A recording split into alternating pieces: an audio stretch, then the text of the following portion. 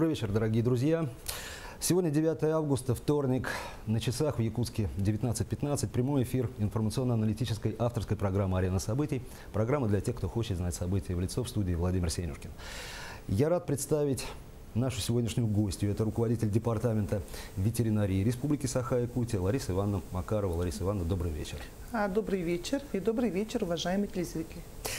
Лариса Ивановна, э, повод для нашей встречи и вообще тема нашей сегодняшней беседы – проведение профилактики мероприятий по недопущению заболеваемости сибирской язвой в Республике Саха-Якутия.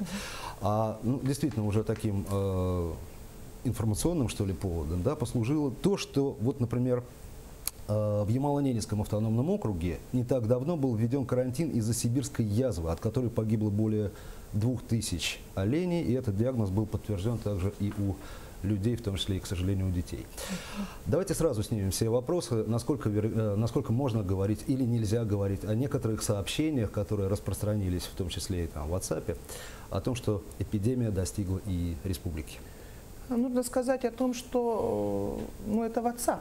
На самом да. деле то, что это официальная информация, она, э, вот сибирская язва, она зарегистрирована в данное время только на Ямале.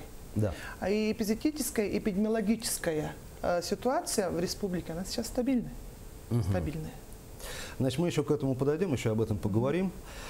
А, а пока, э, ну давайте от печки что ли, да, что за возбудитель сибирской угу. язвы, что за переносчики сибирской язвы и что является источником заражения? Ну, сибирская язва – это а, зоантропонозное заболевание или это особо опасное инфекционное заболевание, общее для человека и животных. Заболевают все виды животных, и возбудителем является бацилла, или по-латински это Bacillus anthracis.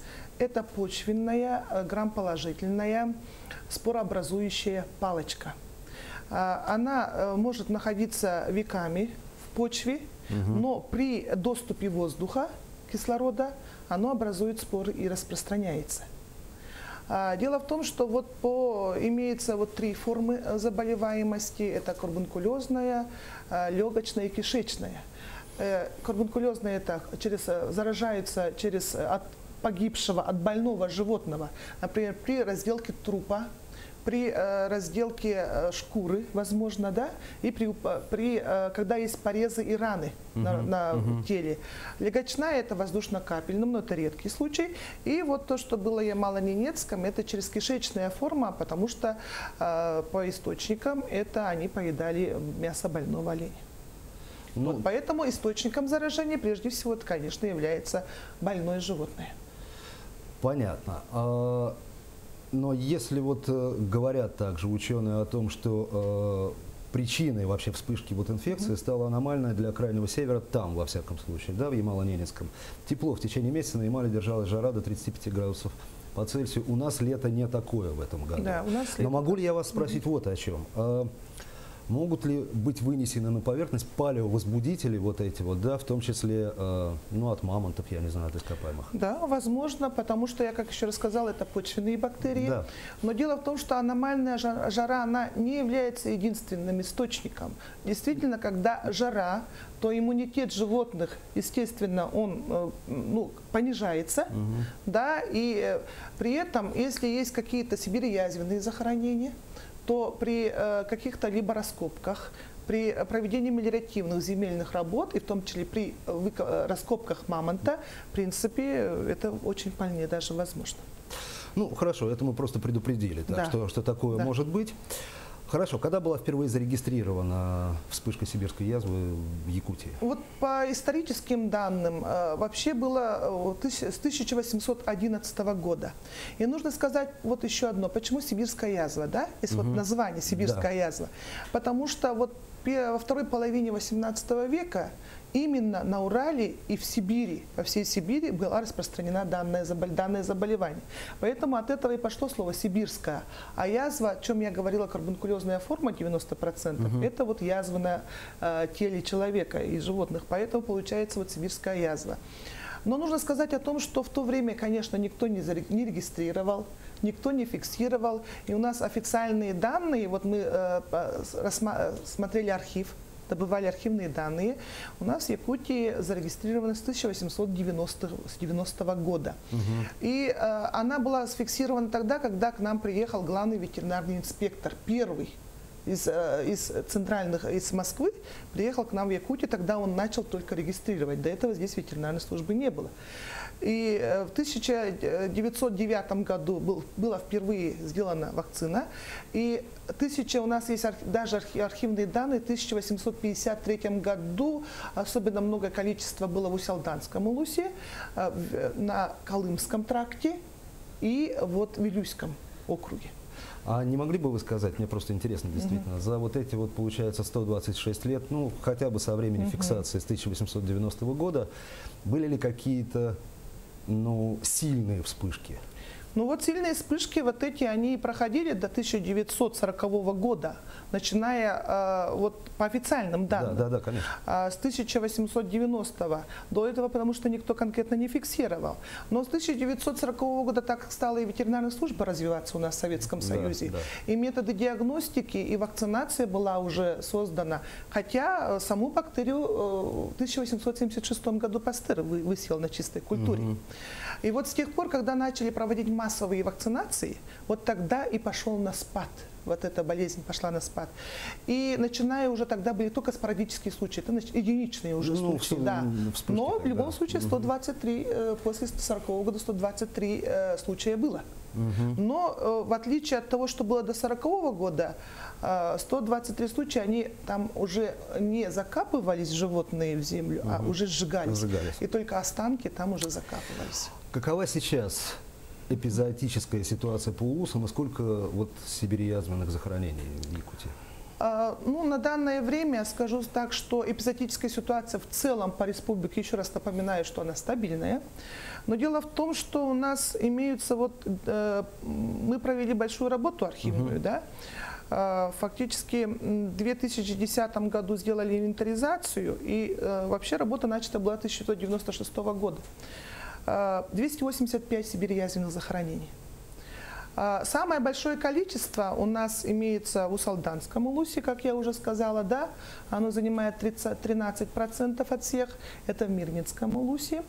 Это, значит, в Вилюйском улусе и Среднеколымском улусе. Хочу отметить о том, что последний случай сибирской язвы у нас был в Мирнинском улусе в 1993 году. Но тогда пали не сельхозживотные, а пали дикие животные. Угу. Это понятно в связи с тем, что там проводились изыскательские работы по алмазе, добычи. А, на, а насколько угу. вот э, большая часть захоронений находится вдали от транспортных, э, ну, от путей сообщения, да, да и от э, мест проживания людей? людей? Ну, хочу сказать о том, что э, вот из 285, угу. 77, э, они известны точные координаты. И вот эти точные координаты в основном и находятся близ населенных пунктов. Угу. А вот эти 200, 208 сибирязевых захоронений из местности известно. Вот например, тот же Алас, да, та же поляна. Да. Но вот точных пока у нас архивных данных, данных мы не можем найти, но они все находятся в труднодоступных в тундре там местах. Конечно. И для того, чтобы их обследовать, действительно нужны очень большие средства, авиаполеты, там вездеходная техника. Ну хорошо, а вот какую вы работу проводите с сибирьязвенными угу. захоронениями? Ну, здесь у нас хочу сказать о том, что принято э, правительством э, республики распоряжение дорожная карта, а, оформление собственности этих сибирь-язвенных захоронений. Угу. Создана, у нас есть противоэпизотическая комиссия. Собственность республики вы имеете в виду? Да, собственность угу. республики. Противоэпизотическая комиссия угу. имеется. При противоэпизотической комиссии работает межведомственная комиссия по определению мест захоронения этих сибирь-язвенных захоронений. Во главе с руководителем комитета по жизнеобеспечению. Вот мы, первая задача была это провести инвентаризацию. А, мы фактически начали, еще раз скажу, с 2010 года. До этого тоже проводили, в архивах во всех поработали, с населением поговорили, с старожилами. Угу. Но, к сожалению, старожилов очень почти что и мало осталось. И вот и сделали реестр 285. Теперь, значит, у нас идет в соответствии с дорожной картой, надо же проводить кадастровые работы. И поэтому Министерство имущественных земельных отношений вот в прошлом году э, провело кадастровые работы на, на 3 миллиона 185 тысяч, выделено было средств бюджета. Вот на данное время сейчас они будут проводить конкурс на полтора миллиона, будут э, проводиться кадастровые по 33 сибирязвенным захоронениям. И вот последующие года до 2018 года, до 17-18 год э, в прогнозе ну, потребуется еще 10 Ну, то есть, миллионов. расп- Да. в общем, расписано это. Расписано это Хорошо, всё. самый главный вопрос. Какая профилактическая работа проводится по недопущению, собственно говоря, заболеваемости? Ну, я хочу сказать о том, что от техногенных э, факторов и климатических, э, вообще, ну, кто мало кто застрахован и не гарантирован. Поэтому, хотя и вот мы э, сейчас уточняем себе сибирьязвенных захоронений, но самая главная профилактика – это вакцинация животных, иммунизация, полная иммунизация. А, Мы вот ежегодно, ежегодно, у нас не было ни одного го- года, вот за последние года, вообще из советских времен, а, так как вспышки у нас были еще тогда, не было ни одного года, чтобы мы не выполнили план по, сибирьязвен- э, по вакцинации сибирской язвы. У нас э, вакци- вакцина приходит с федерального бюджета, то есть мы э, населению делаем бесплатно, у нас государственное задание. Мы в 2015 году э, вакцинировали скот 125%, то есть нарождающимся молодняком, а свиней 100%, мелкий рогатый скот 100%, так как они находятся в скотопомещениях. Конечно, нам легче, мы обходим каждое скотопомещение и прививаем. Но немножко Ну, затруднение есть с лошадьми, потому что это тибеневочное содержание и олени. Но в любом случае, вот мы в прошлом году а, лошадей 80% вакцинировали, оленей э, 75%. А, В том-то и дело, что а, оно э, иммунитет сохраняет на один год. И поэтому получается, что мы э, вот осенью, когда сбор лошадей проходит, вот тогда полностью вакцинируем, оленей корализации. Данное время в этом году 50%. пока. Лариса Ивановна, финальный вопрос, меньше минуты остается. Департамент ветеринарии республики имеет в соавторстве пакет по разработке ассоциированной вакцины по сибирской язве в оленеводстве. Очень кратко. Да, мы, э, мы работаем, конечно, без науки ветеринарии никуда. Мы имеем па- патент э, совместно с учеными ассоциированная вакцина против сибирской язвы и некробактериоза. Потому что очень затратно да, проводить несколько вакцин. Поэтому мы одним уколом вакцинируем, профилактируем две вакцины. И это сейчас на следующий год оно будет произв- массово производиться. И будем мы ее применять в целях улучшения эпизодической ситуации. Лариса Ивановна, спасибо вам большое за встречу. Пора прощаться. Это была Спасибо. арена событий. Всего вам доброго. До свидания. До свидания. Ну, как я